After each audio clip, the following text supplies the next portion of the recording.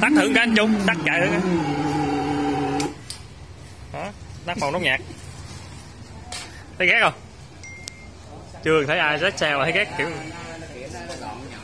sáng như bùng bò đó muốn tắt lò tắt à Ồ, bị gãy xương hả anh trung? Xương dẻo vậy là gãy không